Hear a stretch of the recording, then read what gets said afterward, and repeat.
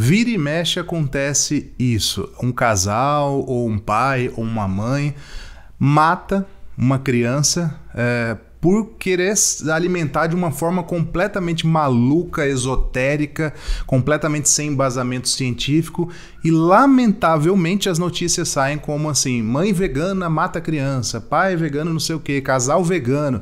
Então assim, é, eu já vou adiantar aqui, se você não quiser ver o vídeo todo, eu já vou adiantar meu posicionamento aqui. Vou falar sobre o caso, como é que foi essa questão toda, mas resumidamente, é, uma mãe foi condenada já nos Estados Unidos por ter simplesmente matado o filho por inanição, né? Por não dar uma alimentação adequada. É, e ela já é condenada, a criança morreu, e aí está saindo agora em todos os sites de notícias, aqui no Brasil, inclusive, em sites principalmente de revista especializada em crianças, em dicas para pais e mães, está saindo assim, vegana, né? Mãe vegana mata filho, não sei o que. Então dá uma impressão que o veganismo é algo realmente perigoso para uma criança. É, então, meu posicionamento é, é, contra esse tipo de, de notícia sair como a mãe sendo vegana, mas eu até entendo, porque é uma característica bastante é, é forte, né? Dessa mãe, no caso aqui. Ela não tem outra característica é, que tenha a ver com alimentação que seja tão forte quanto isso. Agora, meu posicionamento em relação à mãe, eu acho que está mais que claro pela minha fala, né? Fez um, uma besteira imensa, fez um, um crime, né? não tem informação né, pra, a ponto de deixar um, um menino de 18 meses morrer né, por falta de, de, vitaminas, por falta de comida. Então, nesse caso aqui, mesmo que ela não fosse vegana, ela não ia ter condições de alimentar uma criança. O caso aqui não é porque ela era vegana, é porque ela não, não, não tinha condições, né? não tinha condições é, psicológicas para alimentar uma criança. É, é, é, muito triste o que aconteceu. É, o nome dessa mulher é Sheila Oleari e ela foi condenada pelo júri e a sentença deve sair no próximo mês, tá? Mas ela já está presa, ela tem 38 anos e deixou o filho de 18 meses morrer de fome após adotar uma dieta extremamente restritiva para alimentar a criança. Aí eu pensei, Tá, mas eu, por exemplo, eu tenho uma filha, vocês sabem, a Serena, que tem pouco mais de 18 meses. É praticamente a idade desse menininho aqui que morreu. E a minha filha tem todos os exames, está tudo ok. Acompanhada, como toda criança deve ser ou deveria ser, acompanhada por pediatra. No caso da minha filha, duas. É, acompanhada é, por nutricionista e tal, mas Assim, é, é, é, tão natural a alimentação dela, é tão tranquila, e eu fiquei pensando, mas será que só pelo fato dessa mulher ser vegana, o que, que ela dava para criança? Porque já aconteceram casos de casais que davam. Teve um, um caso muito curioso que o casal dava só água de coco e castanhas e suco de maçã. Era isso, a alimentação da criança. Água de coco, castanhas. Cara, então assim, é, eu não sei o que, que passa na cabeça desses pais. Assim, não é porque é vegano que eu vou passar pano, jamais né? São criminosos mesmo, tanto que a, que a Justiça dos Estados Unidos condenou. Então eu acho lamentável. Então, é, para todo mundo né, que tem um filho, que pretende ter um filho, tem que ter um mínimo de noção e levar a criança com, com bastante regularidade ao pediatra, né? tem que ter o um acompanhamento desde o pré-natal, né, da mulher grávida e tudo. É, esse tipo de, de de, de, de, atitude aqui, eu, enfim, eu não, não, consigo conceber como é que a pessoa chega nesse estágio. Eu fiquei pensando, mas o que, que será que ela dava para essa criança? Será que era vegana só por isso? Né? Então, olha só o que, que ela dava para a criança. Ah, e vale lembrar que o pai da criança, cujo nome é Rian Patrick Oleari, não sei se assim pronuncia, 33 anos, também foi indiciado, mas está aguardando o julgamento. Provavelmente vai ser condenado também. De acordo com os pais, a dieta de Ezra, acho que era esse o nome do, do menino, não sei se é assim que pronuncia também, era baseada em frutas e vegetais crus. A mãe chegou a afirmar que também o alimentava com leite materno, mas o pequeno apresentava sinais de desnutrição, pesando pouco mais de 7 quilos, enquanto a média padrão para a idade seria de mais de 10 quilos. Realmente, a minha filha, por exemplo, que normalmente meninas pesam até um pouco menos, e minha filha tem 11 já, assim, tá, tá super saudável.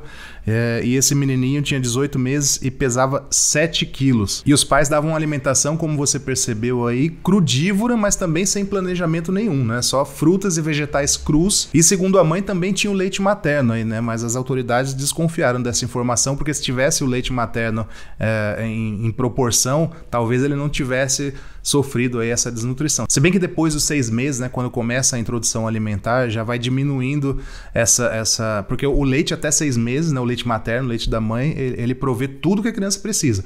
Mas depois dos seis meses tem que ir colocando alimentos, porque ele já não, à medida que o tempo passa, ele não vai provendo tudo que a criança precisa. Então, com um ano e meio, imagino que só o leite materno não seria suficiente mesmo. Mas, de qualquer maneira, uma alimentação crudívora não é a que eu tenho, não é a que a maioria dos veganos tem. Não vou afirmar aqui que uma alimentação crudívora não é adequada para bebês, mas eu tenho sérias dúvidas sobre isso. E eu não estou falando, ah, tem, não tá, não tô falando isso de uma forma para agredir alimentação crudívora e tal, mas eu tenho dúvidas realmente se é adequada para um bebê. Né? A, a, alimentação vegana, a gente sabe que sim, porque basicamente arroz, feijão, vegetais cozidos, molinhos, vegetais crus também, muita fruta, castanhas. Tem muitas opções realmente assim numa alimentação vegana. Né? A gente só vai tirar mesmo o que é de origem animal. Agora, numa alimentação crudívora, você já cai muito aí a questão proteica, por exemplo, porque você não vai ter a questão dos feijões, né? Já começa aí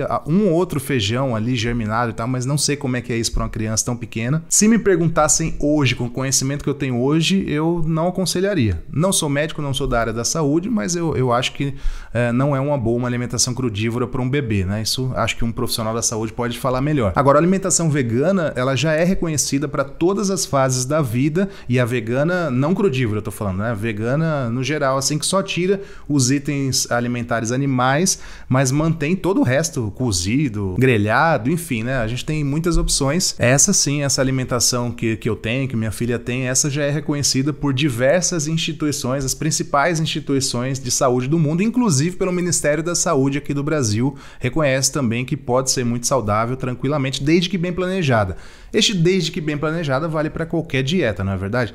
Se a mãe dessa criança aqui, por exemplo, der só pedacinhos de carne e, e sei lá, vegetais crus, ou coisa do tipo, também provavelmente o menino teria o mesmo destino. Né? Infelizmente, a morte de uma criança por imprudência de pais que lamentavelmente eram veganos, né? Se diziam veganos pelo menos, mas completamente desinformados. Então a gente que é vegano, a gente tem que ficar ainda mais esperto, porque qualquer coisa que possa acontecer, né? Se pegar uma gripe, se ficar doente, vão dizer que é porque é vegano. Então assim, a gente tem que ter é, um cuidado duplo, né? É, a minha esposa, por exemplo, quando estava grávida, a gente tomou bastante cuidado mesmo, se consultou até com mais de um médico é, pegou médico referência, inclusive, assim, é, no meio vegano e tal, porque eu, eu, pensei, se acontecer qualquer coisa com a minha filha, primeiro, já vai acontecer alguma coisa com a minha filha, já, já é um motivo suficiente para tomar todos os cuidados, né? Obviamente que eu não queria que acontecesse nada, mas se eventualmente acontecer qualquer coisa que a minha filha não for perfeita, vão dizer que é porque eu sou vegano, ou porque minha esposa é vegana.